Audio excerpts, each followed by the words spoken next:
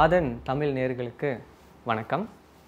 So பேக்ரவுண்டில் என்ன இருக்குன்னு பார்த்தீங்கன்னா செஸ் இன்றைக்கி வந்து நம்ம செஸ் கற்றுக்கிறது எப்படின்னு நம்ம பார்க்க போகிறோம் அநேகர் சொல்கிறது என்ன அப்படின்னா நாங்கள் எல்லா கேம்ஸுமே விளையாடுவோம் பட் செஸ் ஒண்டி விளையாட மாட்டோம் அப்படின்னு.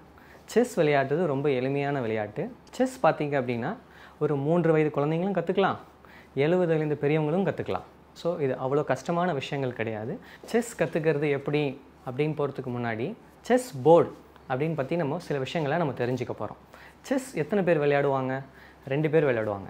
ஒயிட்டுக்கு ஒருத்தங்க விளையாடுவாங்க பிளாக்குக்கு ஒருத்தங்க விளையாடுவாங்க.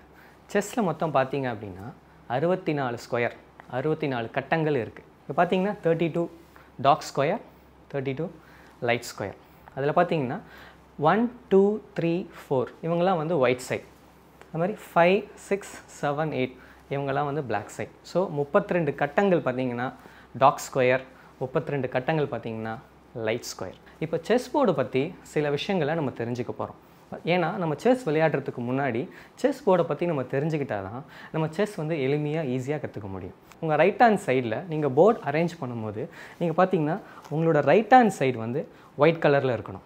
அதே மாதிரி பிளாக்குக்கு ஒருத்தவங்க உட்காந்துக்கிட்டு இருப்பாங்க. அவங்களும் ரைட் சைடில் பார்த்தீங்கன்னா ஒயிட் கொயர் ஒயிட் கலரில் இருக்கணும். Light square. ஸோ அப்போ போர்டோட அரேஞ்ச்மெண்ட் பார்த்தீங்கன்னா உங்களுக்கு வந்து கரெக்டாக இருக்கும். இப்போ பார்த்தீங்க அப்படின்னா அடுத்தது one two three four five six seven eight இவங்கெல்லாம் பார்த்தீங்கன்னா ரேங்க் ஆஃப் ஃபைல் அப்படின்னு நம்ம சொல்லலாம். அடுத்தது பார்த்தீங்க அப்படின்னா a b c d e f g h இவங்கெல்லாம் வந்து நொட்டேஷன்ஸ் ஸோ இவங்கெல்லாம் பார்த்தீங்க அப்படின்னா ஸ்டாண்டிங் ஃபைல் அப்படி இல்லைன்னா வேர்ட்டிக்கல் ஃபைல் அப்படின்னு சொல்லலாம். ஸோ இவங்கெல்லாம் பார்த்தீங்கன்னா ஸ்டாண்டிங் ஃபைல் அதே மாதிரி rank of file one two three four five six seven eight இவங்கெல்லாம் பார்த்தீங்க அப்படின்னா ஸ்லீப்பிங் ஃபைல் அப்படி இல்லைன்னா அரிசாண்டல் ஃபைல் அப்படின்னு சொல்லுவாங்க ஸோ இந்த நம்பரிங் சிஸ்டமும் இந்த ஏபிசிடி இந்த நொட்டேஷன்ஸ்லாம் பார்த்தீங்க அப்படின்னா நீங்கள் ஃப்யூச்சரில் செஸ் கேம் கற்றுக்கிட்டு நீங்கள் நொட்டேஷன்ஸ் எழுதும் போது உங்களுக்கு யூஸ் ஆகும். இப்போ ஒரு காயின் வந்து ஒரு இடத்துலேருந்து ஒரு இடத்துக்கு நம்ம கொண்டு போகிறோம் அப்படின்னா நம்ம எந்த இடத்துக்கு கொண்டு போயிருக்கோம் அப்படின்னு நீங்கள் பார்த்தீங்கன்னா ஸ்கோர் ஷீட் எழுதுவீங்க. அப்போ வந்து இந்த ரேங்க் ஆஃப் ஃபைலும் இந்த ஏ நொட்டேஷன்ஸும் உங்களுக்கு தெரிய வரும்.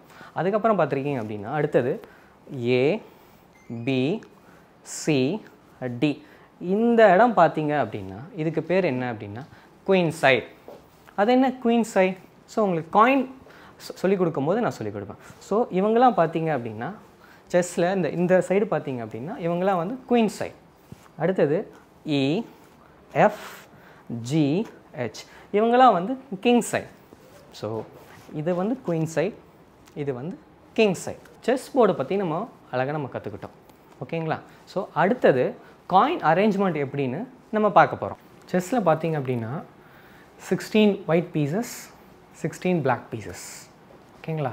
So sixteen white pieces sixteen black pieces first முக்கியமான காயின் செஸ்ஸில் பார்த்தீங்க அப்படின்னா கிங் தான். ஸோ அந்த கிங் பார்த்தீங்க அப்படின்னா ஒயிட் கிங் அந்த பிளாக் கிங் எப்போவுமே ஒரு கன்ஃபியூஷன் எல்லாருக்குமே இருக்கும். செஸ் வந்து ஒயிட் வர்சஸ் பிளாக் அப்படி தானே இருக்கும். இந்த போர்டு பார்த்தீங்க அப்படின்னா ஒயிட் வர்சஸ் க்ரீன் அப்படின்னு இருக்கும் ஸோ நீங்கள் போர்டில் எந்த காயின்ஸுனுமே எந்த காயின்ஸ் எந்த போர்டை நீங்கள் பார்த்தாலுமே green colour purple colour blue colour எந்த எல்லா கலருமே இஸ் ஈக்குவல் டு பிளாக் ஓகேங்களா? அதனால் அந்த கலர் காம்பினேஷன் பார்த்தீங்கன்னா நீங்கள் வந்து கன்ஃபியூஸ் ஆகிக்க வேண்டாம். ஸோ க்ரீன் கலர் எல்லாமே பிளாக் கலர் தான். ஓகேங்களா? ஸோ இப்போ நம்ம வந்து செஸ் காயின்ஸ் எப்படி அரேஞ்ச் பண்ணுறது நம்ம பார்க்க போகிறோம் மு அதில் முக்கியமான விஷயம் என்னென்னா நம்மளோட ஒயிட் காயின் எப்பவுமே பார்த்தீங்கன்னா ஒயிட் கிங் பார்த்தீங்கன்னா பிளாக் ஸ்கொயரில் இருக்கணும். பிளாக் கிங் பார்த்தீங்கன்னா ஒயிட் ஸ்கொயரில் இருக்கணும். அப்புறம் பார்த்தீங்கன்னா queen bishop knight and rook நான் உங்களுக்கு செஸ் போர்டு எக்ஸ்பிளைன் பண்ணும்போது கிங் சைட் அந்த குயின் சைட் அப்படின்னு நான் சொல்லியிருப்பேன். இப்போ இங்கே பாருங்கள் d c b a so இந்த பார்ட் எல்லாமே குயின் சைன் ஏன்னா நம்ம குயின் தான் இங்கே ப்ளேஸ் பண்ணியிருக்கோம். ஸோ இவங்கெல்லாம் அவங்களோட குயின் சி பீஸோட மெஜாரிட்டி காயின்ஸ் இவங்க பாருங்கள் e e, f g h இவங்கெல்லாம் பார்த்தீங்கன்னா கிங் சைடோட மெஜாரிட்டி பீசஸ் ஸோ இவங்கெல்லாம் கிங் சைட் இவங்கெல்லாம் குயின் சைட் ஸோ செஸ்ஸில் நூக் அண்ட் கார்னர் பீசஸ் என்னென்னு பார்த்தீங்கன்னா ரூக் எல்லாருக்குமே தெரிஞ்ச பீஸ் எலிஃபண்ட் அப்படின்னு. இது பக்கத்தில் பார்த்தீங்கன்னா நைட் அப்புறம் பிஷப் அப்புறம் குயின் அப்புறம் king then followed by bishop then knight then rook so இதான் அரேஞ்ச்மெண்ட் ஆஃப் த காயின்ஸ் ரொம்ப ஈஸியாக இருக்குல்ல? அடுத்தது முக்கியமான காயின் பான் பான்ன்றது ஒரு சிப்பாய். பட் அந்த பான் தான் ரொம்ப முக்கியமான பீஸ் போர்டில் லைஃப்பில் பார்த்துருக்கீங்க அப்படின்னா சின்ன சின்ன விஷயங்கள் தான் லைஃப்பில் வந்து பெரிய ஒரு மாற்றங்களே கொடுக்கும். அதனால் பான் இப்போ பான் பார்த்தீங்க அப்படின்னா ஒயிட் பான் பார்த்தீங்கன்னா second rank